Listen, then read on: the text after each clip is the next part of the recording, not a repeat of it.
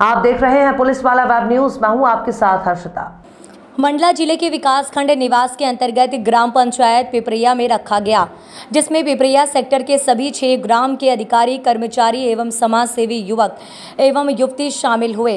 कार्यक्रम में माता सरस्वती जी के चित्र पर तिलक वंदन कर, पुष्प भेंट कर, प्रशिक्षण कार्यक्रम का शुभारंभ किया गया। कार्यक्रम में मुख्य अतिथि जनपद सदस्य अंजलि वरकटे, ग्राम पंचायत पिपरिया सरपंच बिमला मरावी, सरस्वाही सरपंच ज्योति मार्को द्वारा दीप प्रज्वलित कर शुभारंभ किया गया।